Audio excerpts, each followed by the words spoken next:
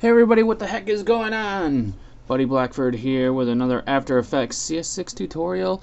And last tutorial I used displacement map to move around the layers and it was a compound effect where you had to use a, another layer to drive how the effect worked.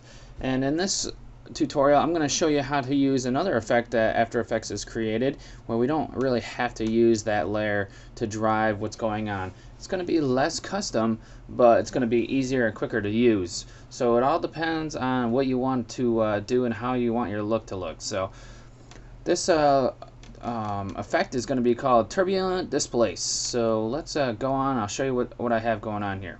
We'll start from scratch, but this is what we're going to make. Now, if, if you can see, I'll zoom in. The text is actually just basic text. And I threw on this turbulent displace and it moves. So we can create like a um, jello effect I guess and movement effect there. So let's uh, start from scratch and see what's going on. Let's delete this. So I just have text and I'm going to throw on turbulent displace with its uh, default settings which uh, brings it out to something cool like this. So We've got a lot of uh, amount on here. Um, we've got different types of displacements. So there's bulge, twist, smoother. I mean, all this. The uh, the amount is up pretty high, so some of these are going to be uh, um, moved around a, a, decent amount. So if I move the uh, amount down, maybe it won't. They won't be so like crazy looking and uh, everything like that, but we'll keep it at 50 for now so we can go through the rest. We've got vertical displacement, which is just going to do the up and down and not the left and right. Kind of like, uh, kind of reminds me of, uh, like a Microsoft Publisher kind of looking thing. There's horizontal, so you can see it like that. And the last one, cross. Ooh, saucy. Look at that.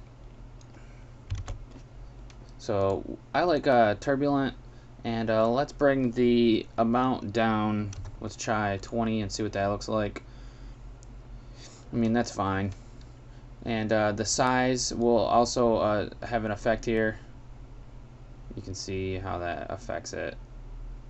Um, it affects how much the uh, evolution affects what's going on here and like the size will affect the, like the middle of the if it's a higher size it'll affect the middle of the text more and displace it even farther out and everything like that. So size and amount are one and one together.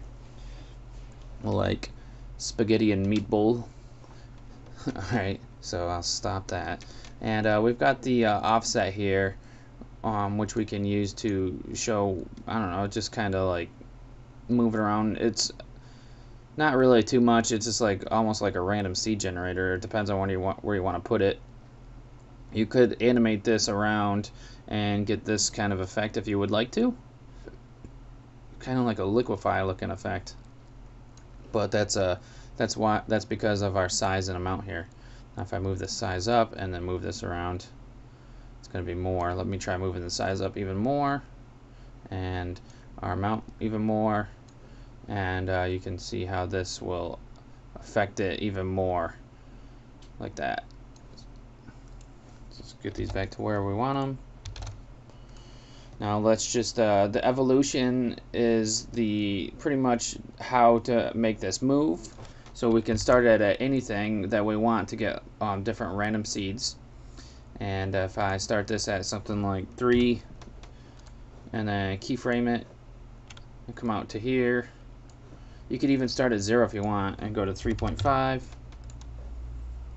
0.5 is good for uh, 7 seconds. We've got the complexity here, which will, I mean, just, it'll change how much it affects the uh, edges there. So, um, right now it's got like a different, it's like a rough edges look, like a, like a, it's like rusting apart or something like that and then down here it'll be more like of a liquidy uh, on a lesser complexity. So put it back to one. Um, evolution options, we've got just a bunch of different uh, evolution, different, just to just to change what it what it looks like and all that stuff. So you don't really need to work worry too much about this. And then I mean, best quality, of course. You can try that, or uh, put on the anti-aliasing if you want. It's just gonna make the render time a little longer, but that's fine. It's this isn't a hugely uh, uh, hugely intensive effect. So I guess that's how you use the uh, turbulent displace, and it's I don't know, pretty cool in my effect. So, or in my opinion, so that's pretty awesome. Let's uh, head on to uh, another tutorial, I guess. And uh, I can't even remember what I was just gonna say, cause some girl sent me a picture, and I'm distracted now. So, thanks for watching this tutorial, everybody. I uh, look forward to seeing you at the next one. Have a good one, everybody.